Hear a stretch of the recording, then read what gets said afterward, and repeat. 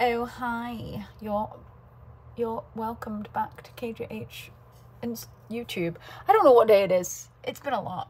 There's a lot coming. The brand launch, we bought a house, booking a trip to Canada for two weeks to go and watch the product be filled at the lab. My hair is giant because it's very hot in New York City, but I'm just gonna rock it. Anywho, I'm gonna do an eveningy glam, but all about liner. I've got on a little bit of blush and a little bit of concealer from a video that I just filmed, so I'm gonna fix that later. So just don't judge me, okay? We've got a brown eyeliner. This is Sepia from Bobbi Brown and my KJH uh, Spectrum collab number 22 brush. So I'm going to twist the brush on the back of my hand to perfect the tip and make it pointy. And then I'm going to use my mirror behind my phone as a guide for where my eyeliner is going to go. And I always start with the wing if I want the wing to be small. Um, versus if I start in the inner corner, my wing ends up being bigger sometimes. Um, so I'm starting with brown because I'm going to go over with black. So I'm using brown almost like it's, remember in school when you had tracing paper to trace on before you would like use pen? Same, same method, truly. As far as doing the other side, just make sure that you are, I feel like my camera's weird. Make sure that you are kind of like looking at this side and spotting yourself in a sense. Need a bit more down there where I've got a hooded eye. Okay, make sure that you're looking at this side to get your placement for the other side. Also, if your eyes are different, don't try and make them match. Do what works for the each eye, and then they will likely match. This gel liner might be drying out a little bit. There's not really any way that I've found to reinvigorate a gel liner except for just pick up more from the jar. So that's that. That's that. So easy, simple. I'm not going to buff it. I'm going to keep it sharp because Hannah told me to. My assistant. She was like, you haven't done a clean wing liner for a while. I was like, all right, fine. Fine, Hannah. Okay, joking. I uh, sometimes just have to pluck up the courage to do a wing liner on camera because, you know, with Uncut by with KJH, the whole point of this series is that it's unedited. And the beauty of that is that you get to see how I would fix mistakes in real time. And sometimes you you know you have to have the patience for eyeliner. And so you know okay end of my rant. So just putting on a little bit of black liner over the top. This is the Lancome Idole just right over the top and I'm just sort of gonna smush it in and stamp it in over the brown so the brown was my you know almost tracing step and the black is my sort of permanent step. So this is definitely a little longer than this side, but that's okay. I'm gonna now make them match. So I'm just gonna press and tap. And actually a good way to make them match without making them two different sizes and bigger is go back to your brown because your brown is again your sort of safety net. Your cream paint pot type is a safety net or your kohl pencil is your safety net. A gel liner is not so much of a safety net. Um, nor is a pen liner. It's not so much of a safety net. So now they're a little bit uneven. I'm going to take my number 9 brush from KJH Spectrum Collab. While that's still wet, just cut underneath. Do the same on the other side. You can use makeup remover to do this. However, you might find that there's enough oils and emollients on your skin already to just help you remove some of that. I'm going to move on from the eyes because I don't want to focus too much on them and try and perfect them and then make them giant. I'm going to go in with some concealer first. Um, I've got a little bit of freckles on from a freckle pen that I might end up using again. I'm just doing a little, little, little bit of concealer in areas that I like. Just swiping on a few swipes. And then I'm going to take number 8 KJH Spectrum and buff that in to a blend. And I like a brush like this because it gives me a small, it's small, so therefore it gives me maximum control of how far I blend that concealer. My camera's over here and I keep looking here because I normally have my phone the other way around. Um, a small brush gives me maximum control on the blend um, versus a big brush. But sometimes a big brush is good because it gets you done quickly. But if I want to be precise and I want my skin to sort of be very, very meticulously painted, I will use a small brush typically more than a big brush. Um, a big brush I would use for something very, very sheer, or if I knew the shade match was like spot on, meaning like if it wasn't going to be too bright here versus too, you know, what I mean by what I just said is the hairline typically has a little bit more pigment in it from the sun, especially in summer, than the jawline or the cheeks. So obviously if I went in with this concealer, which is the shade number four in the product that's coming soon from the brand that's got purple in their packaging, if I went in with that right at my forehead, quite bright, with a big, big brush, it's going to spread it bigger and wider, as I want to be quite precise about how far it blends, because it's a brighter color for me. Just like 201 is from, um, what do you call it? Shiseido. 201 from Shiseido is a little on the bright side for me, but I love it. So I'm probably going to go back in with more eyeliner in a minute, but I like the option to just think about it for a bit and then decide if I want to come back around. And this is kind of like a makeup look that I would wear for like a night out. If I was going out with my friends um, or if I was going on a date night with Tarek. Um, just something kind of pretty and sort of easy, but that felt striking at the same time.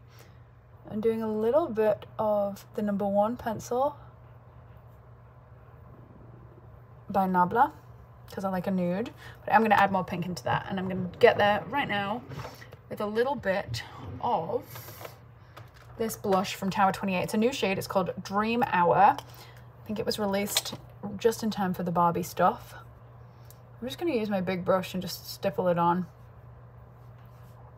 Just in the center of the lip. It's almost, it's like a hybrid pink lavender. It's like not pink, it's not lavender. It's somewhere in the middle. Looks fuchsia here, but on the skin, it almost reads a little lavendery, but in a pinky way, I guess. As far as placement of my blush, I'm just going to go on the apples of the cheeks for a bit of a fresh, youthful kind of glow. Maybe a little on the bridge of the nose. Doesn't hurt. And then just very delicately tapping. I'm always very delicately tapping the skin. I'm never really pushing or pulling or grabbing or sort of dragging product. Because if you do, you sometimes might actually like pull it further out than what you, you might remove it as you're putting it on. Um, putting on a little freckle right there right where I've already got one. This freckle pen came in the mail this morning. It's from Buble and Rudy. B. Buble and Rudy. It's called the Fre Berry Freckled Pen. I'm not sure if I'm saying the brand name correctly, but it's a beautiful, beautiful freckle pen, and it's on underneath my complexion as well as now on top. And what that does to your complexion is it allows for your complexion to look really, really natural and not heavy at all. Um, I'm to do Tower 28 Make Waves Mascara. I'm not gonna, I'm not gonna lie. Had a long day yesterday. We bought a car yesterday. We struggled to park because parking in Brooklyn ain't, ain't so easy. And those that don't live in New York City are gonna probably wince at what I'm about to say, but to purchase a parking space for the month, what do you reckon, Hannah? 500 bucks. What would you say that's accurate? I'd say that's accurate. It's like $500 a month to have a dedicated parking space. Um, you may find some cheaper deals around. If anybody's got any leads, actually, that would be lovely. Otherwise, you're at the mercy of just looking for street parking, which is pretty hard because everybody's um, in the same boat. So we were driving around for about 45 minutes last night trying to park our new car. So we got into bed pretty late, and so I didn't wash my mascara off. So I'm literally going back over. I know some people are probably going to unfollow me for that, but I'm sorry. I, I'm human. Somebody once was so upset that I'd used a wet wipe, like a single use. I, I, don't use single use stuff if I can help it. That wasn't why they were upset. They were upset about the fact that it was a wet wipe and it was apparently not good enough for skin. But it was like a beautiful one from like Dr. Lancer and it had its own little individual packaging. I don't use wasteful things like that anymore. I barely use Q-tips and like that's fact. Um, it's like as a creative in this space, like the amount of waste and the amount of recycling I go through, I hate to add to that with cotton rounds. I use reusable cotton rounds in my personal. I use Q-tips, probably I use one Q-tip a week on myself, if that, and on my clients I use brushes to clean up. Anyway, whatever. Um, the, um, what was I just saying? Why did I go on a rant? They were upset at you for. They were upset at me for using a wet wipe. But why did I even get there? I don't even remember whatever. Mascara. Oh yes, my mascara. Thank you, Hannah. Thank you, thank you, thank you. Okay, so we're we're here. I'm gonna add a bit of bronzer. We've got a busy day today because in about three days I'm gonna go to Jersey for the weekend with our friends and maybe have a little pool party. We will see if the weather is in our favor. I'm using a little bit of the Nabla bronzer in the shade Soft Revenge. and the KJH number four brush. So we're gonna go to Jersey this weekend, spend it with our friends and swim, use the pool. And then the following Tuesday, we're going to Canada for about two weeks. So I'm trying to bank a bunch of YouTube content that can just be in the system, ready to press go on for to make it live. So I'm I'm a I'm a fra- I'm a frazzled scrambler today. And Hannah and I, my assistant Hannah and I decided this morning that we were going to do four regular sort of programmed features per month. One is going to be KJH brand related, whether it be like a behind the scenes, whether it be just like status, whether it be a tutorial. One is going to be a vlog per month. One is going to be like a creative makeup look per month. And the other one was what? Um, favorites. And then monthly favorites. Um, and then maybe we'll do one more, which will be like brand feature. A little bit of bronzer on the eyelids is always beautiful. It's like leaning into that latte makeup look. Um, but you see how it just sort of makes the eyebrows not feel so. I actually like what it did to my eyebrows. It made them a little softer. And now that the makeup is done, mostly, I don't actually feel like I need to go too much harder with the eyeliner. I am just gonna like, if ever your eyeliner gets a little dry, just press it and get some of the flow going again. And another little trick is to use Fix Plus on the back of your hand and that will wet the tip. And don't, you know, don't don't don't let your eyeliner smell the fear because it's real. The eyeliner can smell fear. Okay, so this is me. I'm gonna do a bit of powder.